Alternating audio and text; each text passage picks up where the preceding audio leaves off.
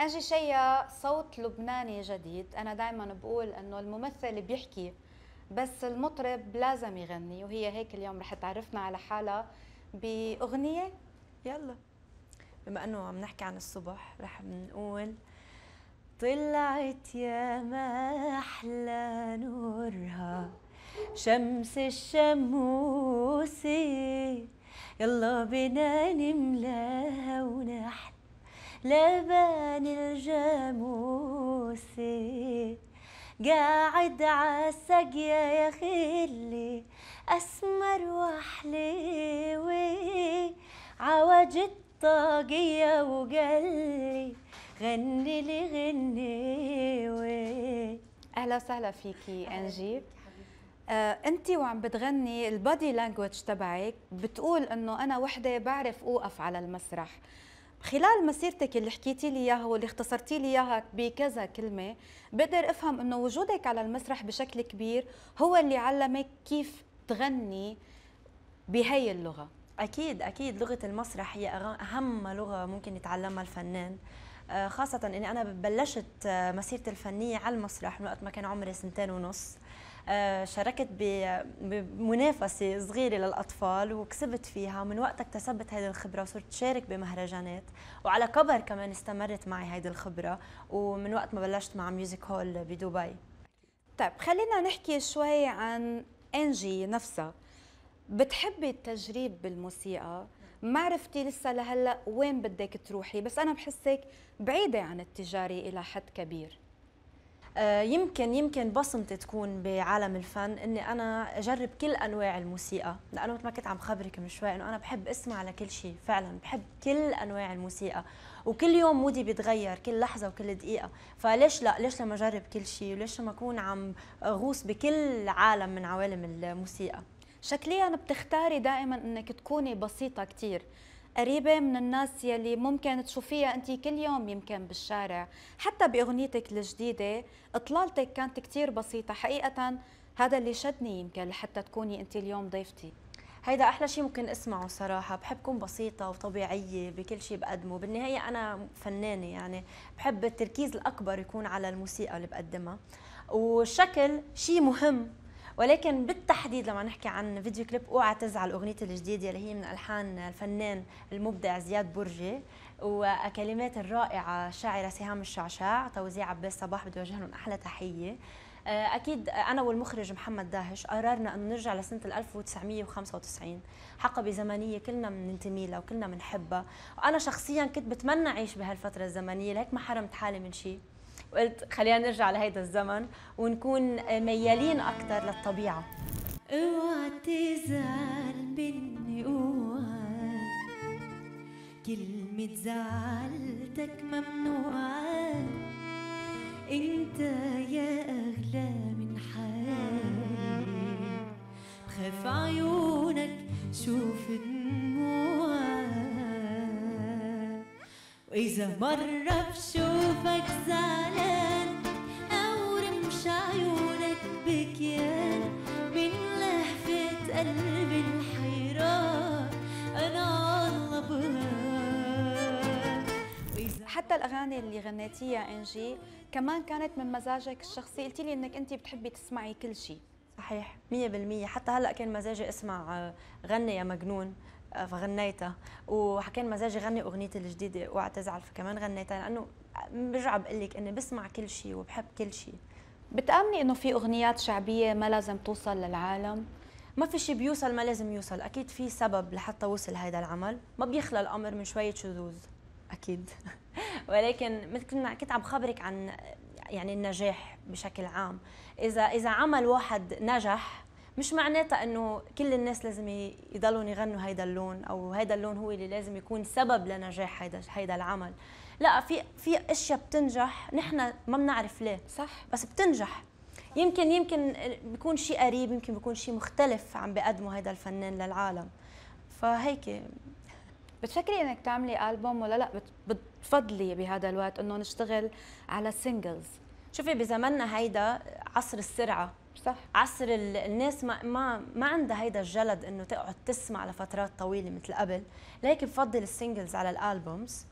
وإن شاء الله إذا وصلت لمطرح إني عملت يعني صار عندي 12 أغنية لحد هلأ.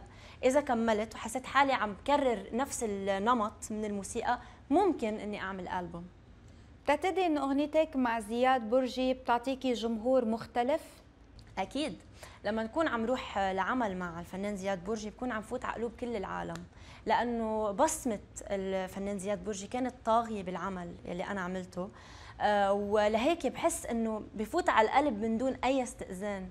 حقيقة عم تحكي. بيعلق اللحن براسك بتصير تدندنيه وأنت ما بتعرفي ليه يعني بس هيك بيعلق. طيب خلينا نحكي شوي عن أغنيتك الأخيرة. كيف اخترتيها؟ ليش هي الأغنية دونا عن غيرها؟ هل لأنه سهام بتقربك مثلا لا مش لأنه سهام تقربني سهام الصراحه بعثت لي الدمو للغنية عم بغني الأغنية عم بدندنها زياد. وقالت لي ليكي هاي الأغنية حلوة وبتلبق لك وبدك تغنيها. بعثت لي إياها. آه قرار. لا إيه، عن جد هي قد ما قد ما بتحبني وبتعرفني عرفتني كشخص لأنها قريبة مني كونها قريبة مني. عرفت إنه هيدي الأغنية أنا رح أحبها. من أول ما سمعتها قلت لها سهام الأغنية بتطير العقل. وغنيناها ودغري يعني ما أخذت وقت. لقيتها يعني نفذتها ودغري صورتها ونزلتها. حقيقة أنا سهام شعشع أنا أصلا بحب كل أغانيها يعني هي غير أنه صديقة هي شاعرة كثير مهمة يمكن من أجمل من كتب عن المرأة. بهالمناسبة بتحسي أنه يجب الفنان اليوم وخاصة أنت من الجيل الجديد أنه يتبنى قضايا معينة حتى بالأغاني والطرب؟ ولا خلص خلينا يعني نلعب فن موسيقى. ما هي الموسيقى والفن كمان قضية بغض النظر شو كانت عم تحكي فهي بحد ذاتها إلها معنى. أكيد ما بيخلى الأمر من أنه نحن لازم نكون عم نحكي عن شيء له معنى بالنهاية. طالما له معنى يعني له قضية يعني بيوصل. بس باختصار. حكيت أنا وياكي اليوم عن شوي عن موسيقى المهرجانات. قلت لك إنه اليوم في موضة بتطلع وبترجع مع الوقت يعني أغاني بتطلع بتعمل booming بترجع بتختفي مع الوقت. ولكن أنا بحس اليوم إنه سمه هذا العصر إنه كأنه في مثل trends ما عاد في أغنية ما لا هو trends إنه نحن اليوم نركب هالموجة وخلص بنمشي على أساسها. كونك أيضا من الجيل الجديد بتحسي إنه لازم تلعبي هاللعبة؟ بالموسيقى ما في شيء اسمه لازم. هيدي قناعة شخصية بالنسبة لي هاي أولا. ثانيا أنا بسميتهم هودي هبة. شيء بهب فجأة وحدة وبعدين بينطفي وبيرجع بهب شيء غيره. كل زمن له خصوصيته له فنه له طبعه له الشيء اللي بحبه. نحن واقعين بالنص. من هذا الجيل الجديد جيل التيك توك بسميته. بين الجيل القديم الجيل اللي بحب يسمع موسيقى. دمج بين هيدا الجيلين هو التميز بهذا العصر أنا بالنسبة لإلي.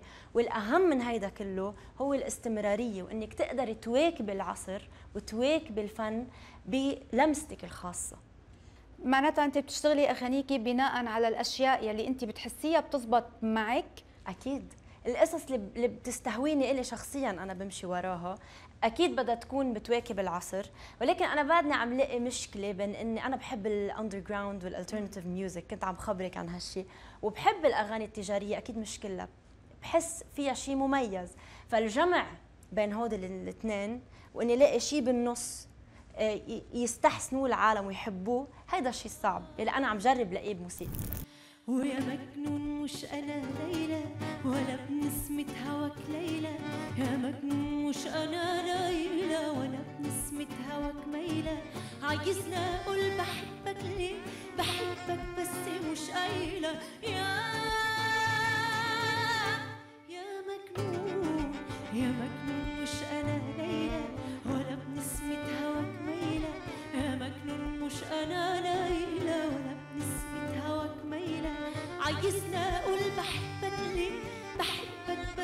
مش قايلة. يا يا مجنون.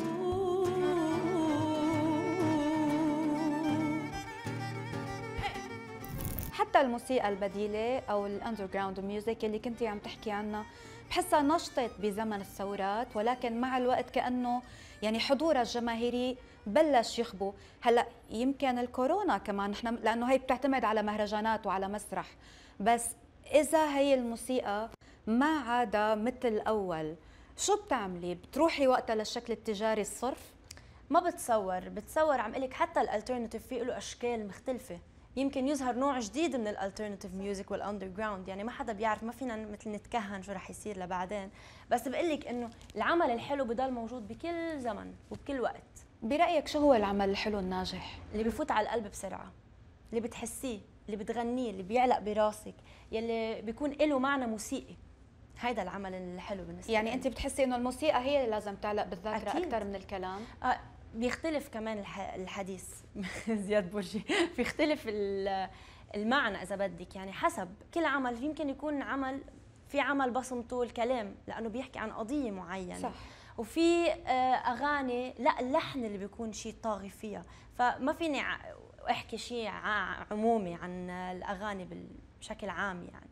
لفتتني شغلة مرة على الإنستغرام حدا من الفنانين كان عم بيقول إنه أنا وماما بنطلع بالسيارة بنسمع أم كلثوم بس بنوصل على المحل وأم كلثوم لم تبدأ الغناء بعد. اليوم الأغنيات أكثر قصرا يعني أكيد. بس لو بدك تشتغلي مثلا فعلا أغنية بتشبه أيام زمان بتلعبيها مثل ما كانوا يعملوها أيام زمان ولا لأ؟ المستمع اختلف. حتى نحن بنختلف. كل يوم أنا إذا بسمع آه، أم كلثوم آه، مع حفظ الألقاب أكيد بسمعها. يمكن نكون عم بقصقص شوي من ال- المقاطع لأنه كان قبل اللحن أطول لساعات كانوا يقعدوا الناس صح. ينطروا ويسمعوا. يعني هلأ صار في أساليب تانية لحتى يعني كان قبل يمكن ما عندهم أساليب يتسلوا فيها أكثر ما عندهم تلفزيون مثل ما نحن عندنا ما عندهم social media ما عندهم كل هيدي الأخبار. فمع تغير العصر تغيرت احتياجات الناس تغير المستمع وتغيرنا نحن. أمان أمان أمان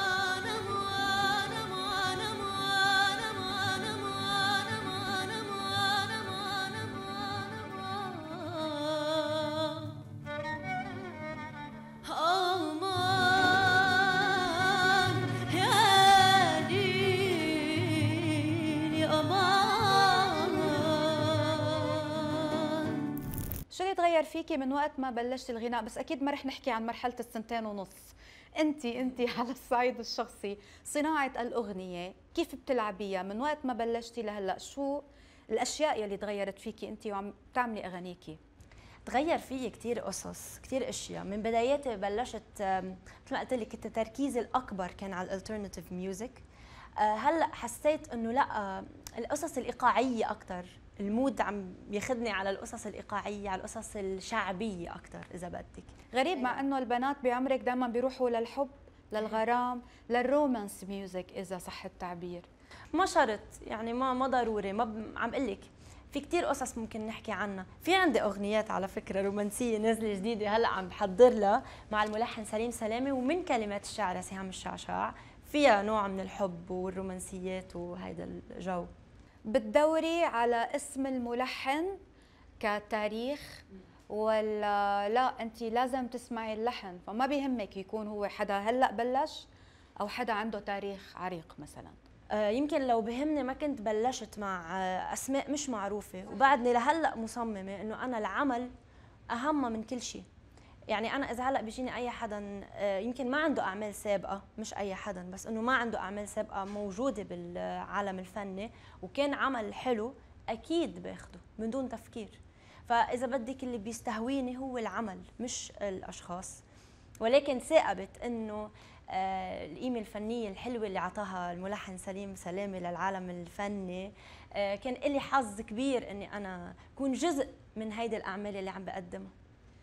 إذا بدنا نسمع آخر أغنية اليوم بالحلقة شو بيخطر لك مثلا تقولي للعالم فيها باي باي مثلا؟ بنقول لهم آم،